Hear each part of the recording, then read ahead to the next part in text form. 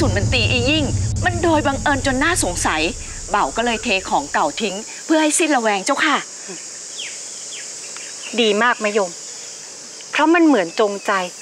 ที่จะให้เองอะออกจากครัวจริงเมื่อครู่แม่นายสีจันทร์มองถาดของว่างไม่วางตา จนน่าสงสัยนะเจ้าค่ะๆมะยมได้ล้างการน้ำชากาแรกหรือยัง อุ้ยยังเจ้าค่ะ เบ่ารีบเตรียมของใหม่ จะเก็บล้างพร้อมกันเจ้าค่ะ ถ้าอย่างนั้นมะยมเอามาให้ฉันที เจ้าค่ะ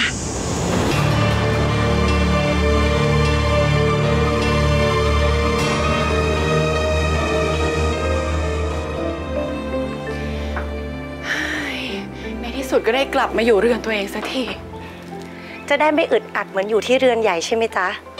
แม่สีจันทร์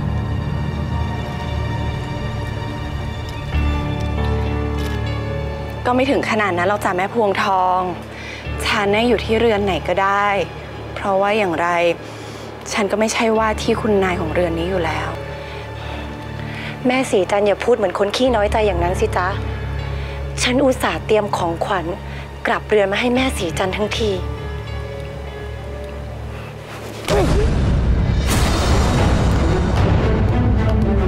อะไรอะแม่พวงทอง ก็เอาของของหล่อนมาคืนไง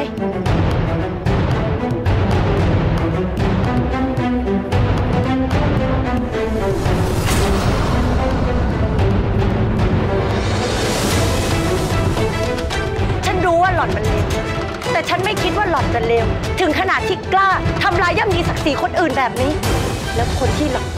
เคยเรียกว่าเพื่อน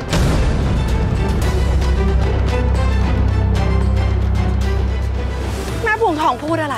จะไม่เห็นรู้เรื่องเลย นี่มันก็แค่เศษชาในถุงผ้า ไม่เห็นจะมีอะไรซะหน่อย หล่อนจะเอาเรื่องนี้ไปฟ้องคุณพระก็ได้นะ แล้วก็อย่าลืมบอกสรรพคุณของชาเนี้ยให้คุณพระทราบด้วยล่ะ หล่อนอย่าคิดว่าจะใช้เรื่องชาแก่นลันตัวมาขู่ฉันได้เสมอไป ถ้าฉันหมดความอดทนเมื่อไหร่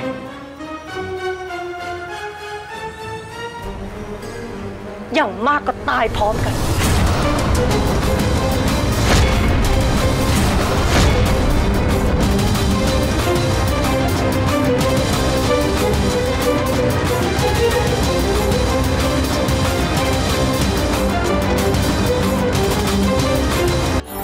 หัวใจ